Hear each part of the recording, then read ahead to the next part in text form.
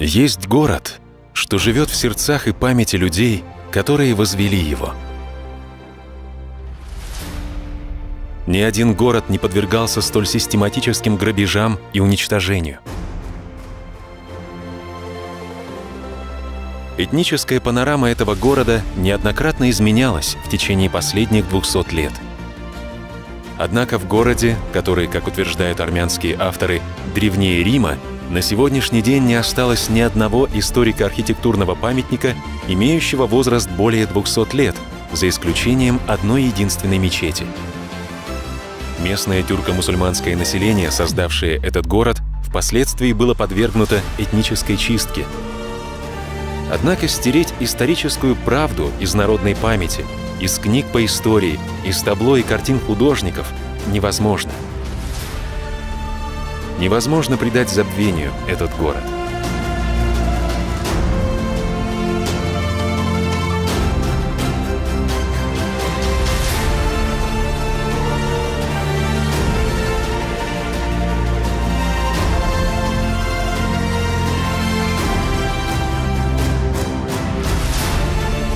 Потому что этот город – один из центров древней культуры Азербайджана. Эривань Сокрытые истины.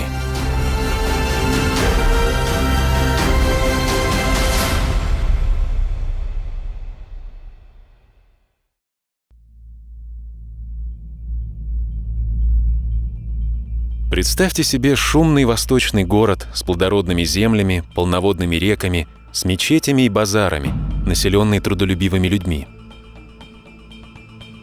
Азербайджанский город, славящийся своим гостеприимством и богатством.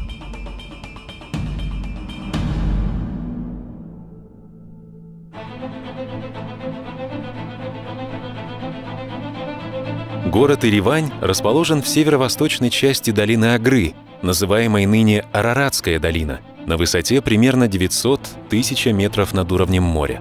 В средневековых источниках название этого города упоминается как Ряван, Ириван и Ривань.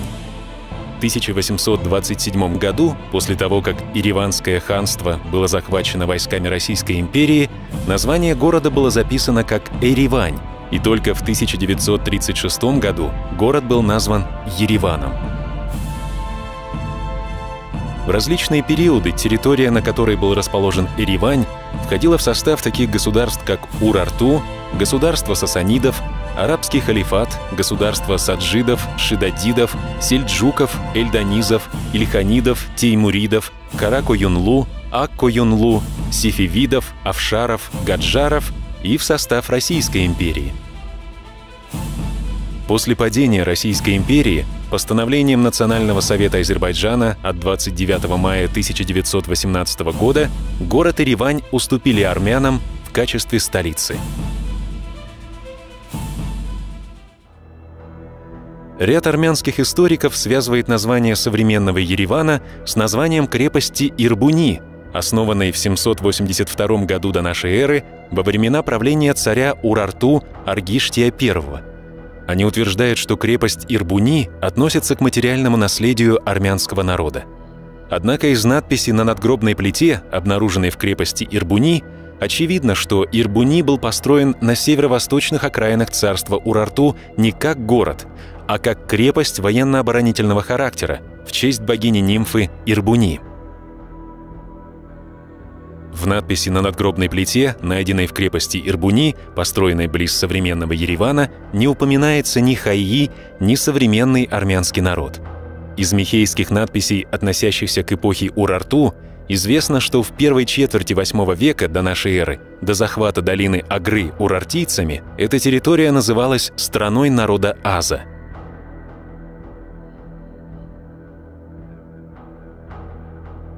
Французский ученый Ленорман, изучающий во второй половине XIX века этническое происхождение и язык населения Урарту, и немецкий языковед и армяновед Мортман доказали, что язык и культура Урарту не имеют никакого отношения к современным армянам.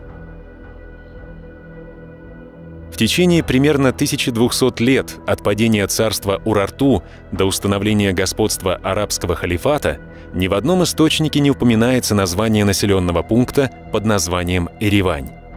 В период халифата управление областями Южного Кавказа возлагалось, как правило, на тюрков. Большинство средневековых арабских источников также не дают никаких сведений об Ереване.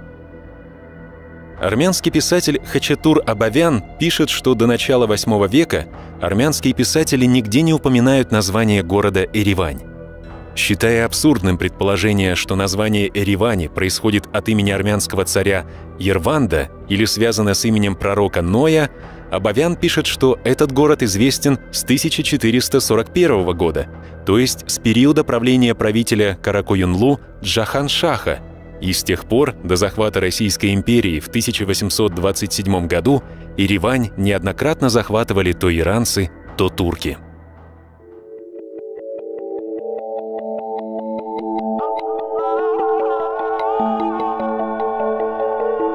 Каждое утро звуки азана, доносящиеся с минаретов мечетей, будили Еревань. Пробуждающийся ото сна Еревань распахивал настежь двери и ворота к караванам, купцам, ханам.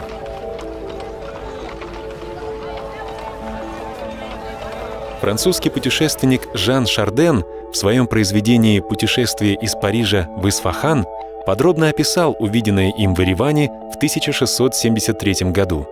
Он пишет, что в Ереванской крепости, состоящей примерно из 800 домов, живут только кызылбаши – в своем произведении «Путешествие в Персию и Восточную Индию», изданном в начале XVIII века в Нюрнберге, немецкий путешественник Франц Каспар Шиллингер отмечал, что в пределах города Еревань живут только азербайджанцы.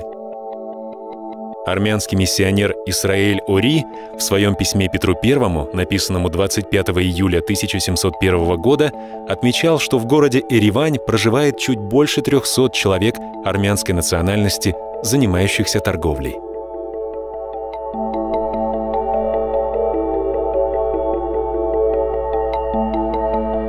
Шественники, летописцы, ученые, художники, поэты, посетив Еревань, описывали этот город в своих произведениях.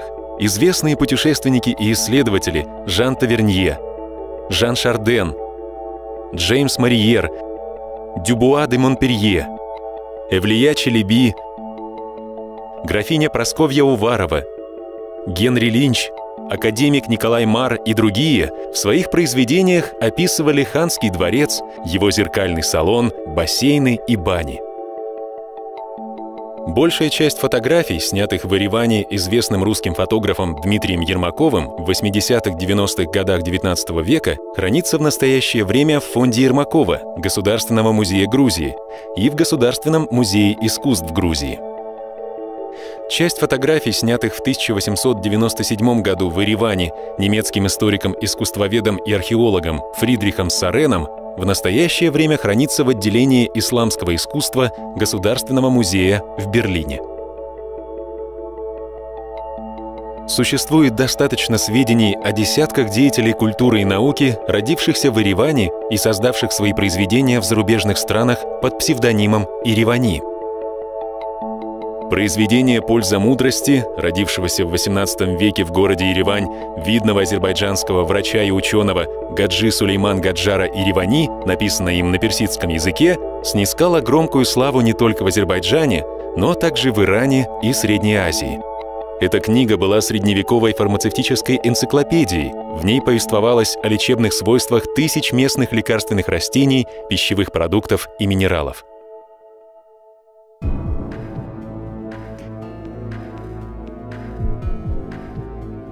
XIX веке прогрессивные традиции художественного творчества Западной Европы и России оказали непосредственное влияние и на творчество азербайджанских художников. Это влияние нашло отражение и в творчестве ярчайшего представителя плеяды художников XIX века Мирзы Гадима Еревани, родившегося в 1825 году в Ереване. Мирза Гадим считается основоположником азербайджанской станковой живописи – его произведения выставлены в Государственных музеях искусств Азербайджана и Грузии и в Санкт-Петербурге в Эрмитаже.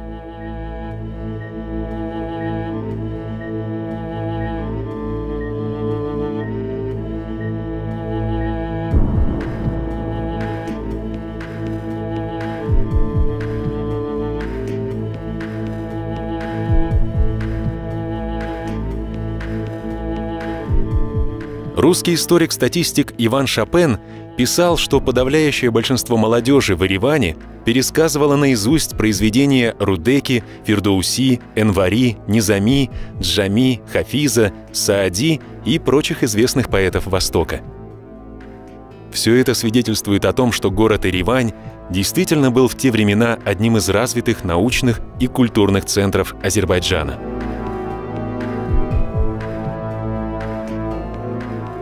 Единственный экземпляр рукописи «Диван Гусейна Алихана», составленный в 1782 году в период правления риванского хана Гусейна Алихана, хранится в настоящее время в Государственном музее Армении.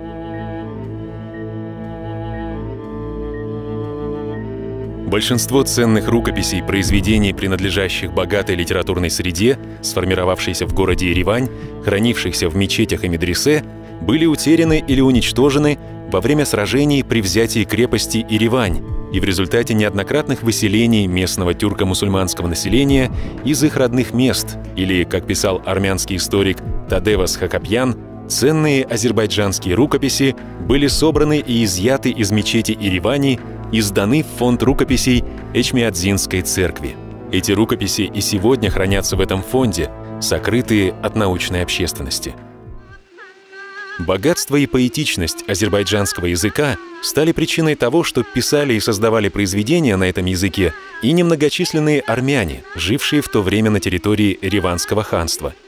Армянский писатель Абавян об армянах, проживавших в Ереване, писал «Тюркский язык знают даже женщины и дети, поэтому вполне естественно, что в народе люди с врожденным поэтическим даром создают поэтические произведения на тюркском, то есть на азербайджанском языке». Еще во второй половине 17 века французскому путешественнику Жану Шардену, побывавшему в Ереване и гостившему в ереванской резиденции Чухурсаадского беглярбегства, было показано представление из трех частей. Это представление оставило у Шардена столь приятное впечатление, что он назвал его «оперой Востока»,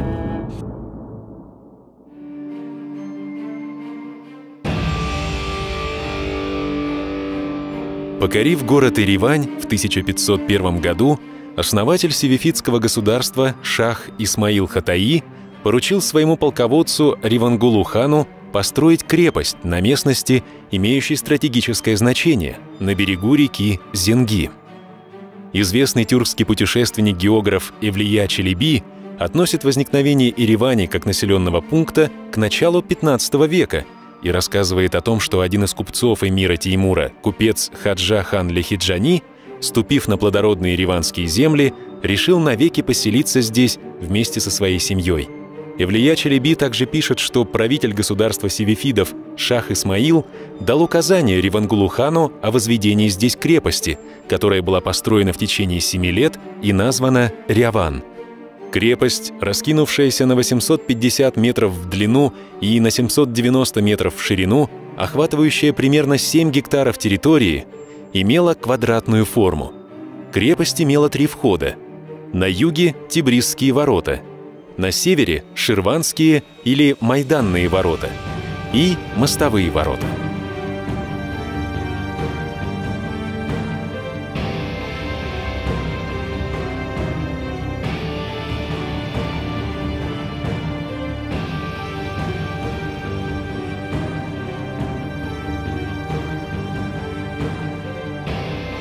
Результате длительных непрекращающихся войн между Османской и Севифитской империями Ереванская крепость 14 раз переходила из рук в руки, каждый раз подвергаясь определенным разрушениям и затем вновь восстанавливалась.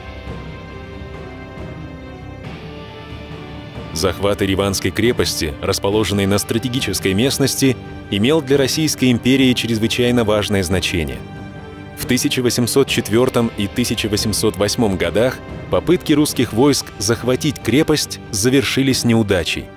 В течение более чем 20 лет Ереванская крепость выдерживала беспрерывные атаки русских войск, и лишь 1 октября 1827 года, после того, как армяне сообщили русскому командованию места проходов в крепостных стенах, крепость была схвачена российскими войсками. Взятие Ереванской крепости отпраздновали в Петербурге. По этому случаю даже состоялся официальный смотр войскам. За особые заслуги при взятии Ереванской крепости генералу Ивану Паскевичу был пожалован титул графа Ереванского. На картине «Штурм Ереванской крепости» художника-академика Владимира Машкова, бывшего свидетелем штурма Ереванской крепости русскими войсками, изображена артиллерийская атака русских войск с северо-запада.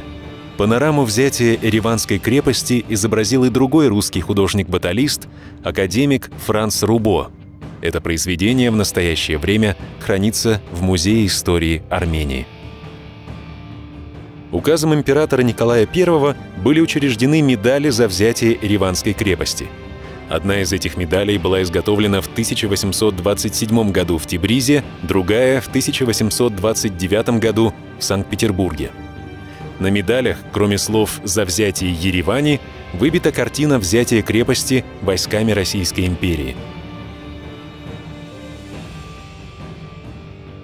На другой медали, изготовленной по случаю заключения с Ираном мирного договора в 1828 году, изображен древний азербайджанский город Иривань с куполами и минаретами мечетей.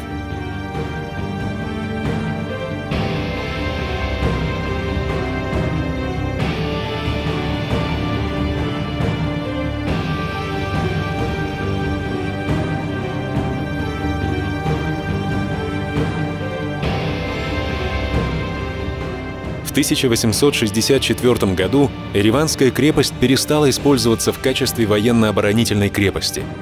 А в 1865 году, выкупив часть территории крепости, армянский купец Нерсес Тахирян построил здесь коньячный завод. Коньячный завод и площадь, называемая сегодня «Площадь России», находятся на исторической территории Ереванской крепости. Часть крепостных стен продолжала существовать до конца Второй мировой войны – в настоящее время от величественной крепости не осталось никаких следов.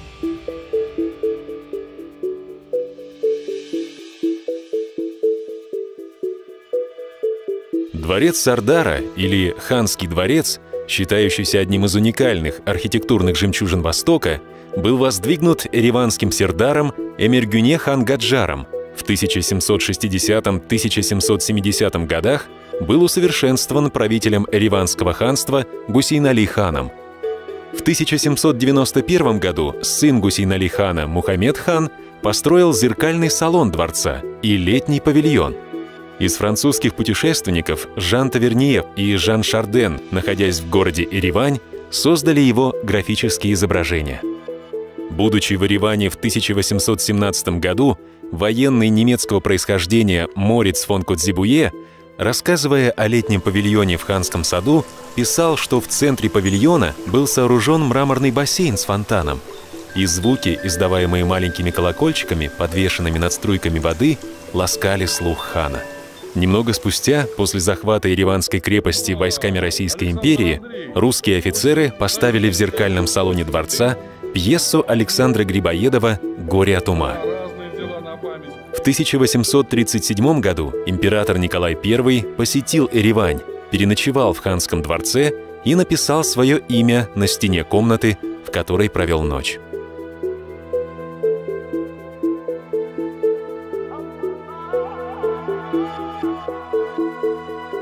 В исторической литературе упоминаются названия 15 мечетей в городе Еревань.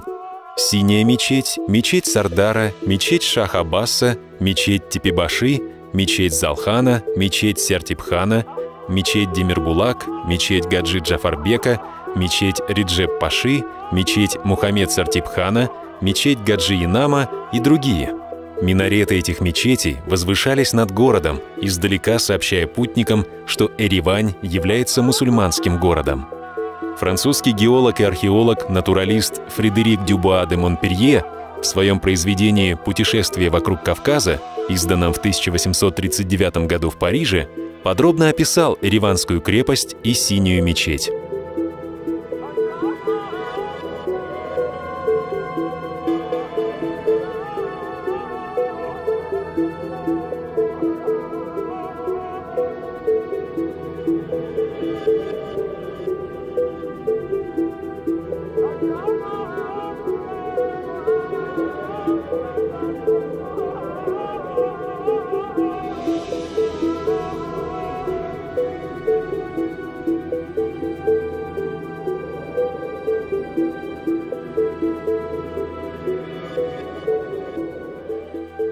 В начале 20 века в Ереване, в Демирбулакском массиве, где в свое время проживали только азербайджанцы, и который ныне армяне называют Каран-Китак, существовали три мечети.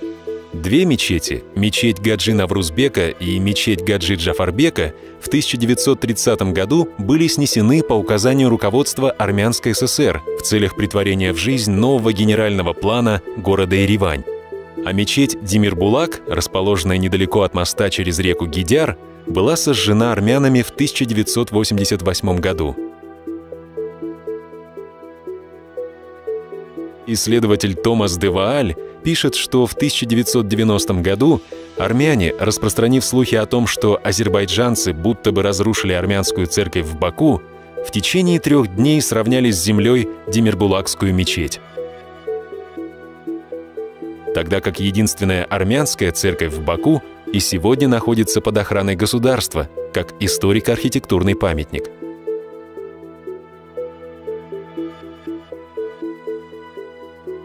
В 2014 году в Ереване в течение одной ночи были разрушены также небольшие остатки мечети Сердара, которые вы видите на экране. Теперь на этой территории построен многоэтажный жилой комплекс.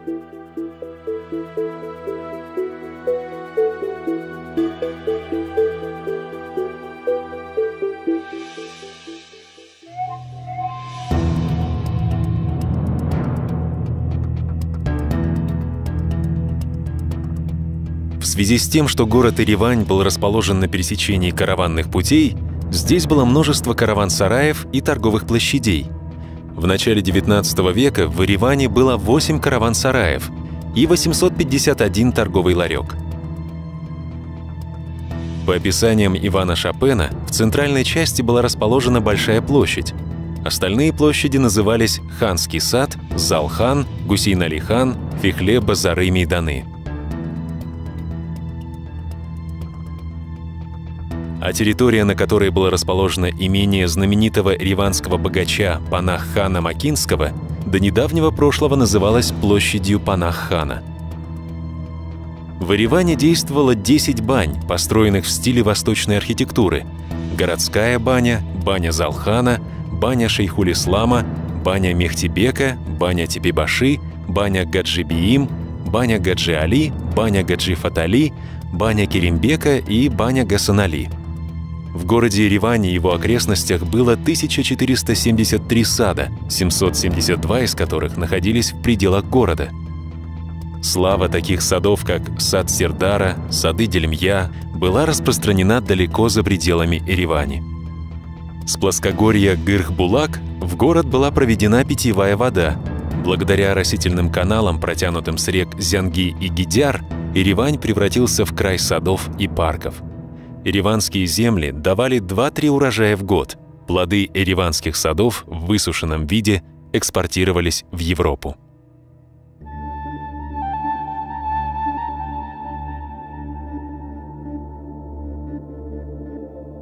До захвата русскими войсками в городе Еревань проживало примерно 20 тысяч человек. Приблизительно одну пятую часть населения Еревани составляли армяне, которые проживали в окрестностях города – для того, чтобы захватить новые территории к югу от границ империи, России необходимо было создать на Южном Кавказе опорную зону, состоящую из христианского населения – Массовое переселение армян, проживающих на территории Ирана и Османской империи, в Ириванское, Нахчеванское и Карабахское ханство, осуществляемое на основании Туркменчайского договора 1828 года и Эдернинского договора 1829 года, также служило вышеуказанной идее. Для направления армянских переселенцев из Ирана в город Иривань командующий русскими войсками генерал Иван Паскевич дал конкретные поручения. 377 семей из числа армянских переселенцев были размещены в городе Иривань. Несмотря на массовые переселения, в 1831 году в этническом составе населения, проживающего в городе Иривань, численный перевес принадлежал азербайджанским тюркам, Численность азербайджанцев в городе составляла 7331 человек, армян – 4484 человека, прочих народов – 105 человек. Однако в последующие годы, в результате политики национального разобщения народов, проводимой Российской империей против азербайджанцев, демографическое положение в городе постепенно изменилось в пользу армян.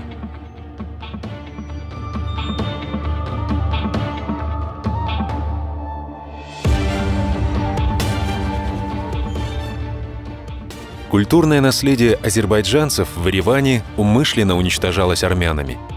Даже вопрос сохранения дворца Сердара в Ереване обсуждался в 1910 и 1912 годах на собраниях Российской императорской археологической комиссии.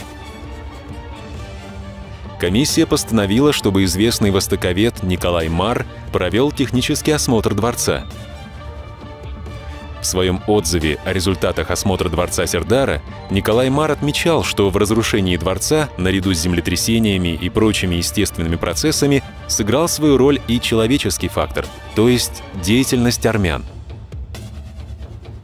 Искусствовед, доктор Наталья Миклашевская, писала, что после разрушения дворца Сердара в 1914 году с его стен были сорваны портреты кисти Мирзы Гадима Еревани – и сданы в военно-исторический музей в Тбилиси. В 1928 году был демонтирован большой зал мечети Залхана, а на его месте построен отель «Ереван». Этот отель в настоящее время называется «Роял Тулип». В последнее время на площади республики в Ереване ведутся археологические раскопки, и обнаруженные при этом образцы материального наследия азербайджанцев серьезно беспокоят официальных лиц Армении. По этой причине археологические раскопки были прекращены, а раскопанная территория была покрыта щебнем.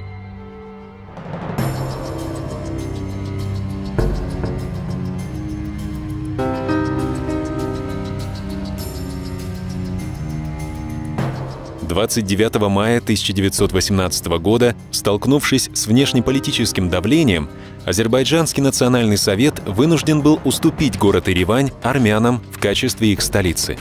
Тем самым на азербайджанской земле, на территории бывшего Ереванского ханства, было создано первое армянское государство. В начале 20 века в городе проживало примерно 12 500 азербайджанцев – к ноябрю 1920 года из полумиллионного азербайджанского населения, проживающего в Армянской ССР, осталось примерно 10 тысяч человек.